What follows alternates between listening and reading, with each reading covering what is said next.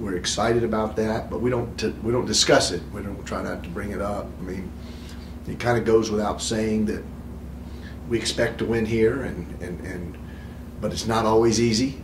So you have to uh, prepare your mind and your body and your game uh, beforehand, and then lay it on the line afterwards. And that's I think that's what our guys do. I think they really play hard and smart for the most part for 40 minutes, and that's that's been good enough. I mean, I'm not really concerned more so about the streak, just as playing as hard as I can and leaving everything out on that floor um, for the fans and, and, just for the program. And obviously, it's been a long, long three, four years for me, and uh, just appreciating, you know, the quality of program that we have and the fan base that's just been so amazing and so loyal to us.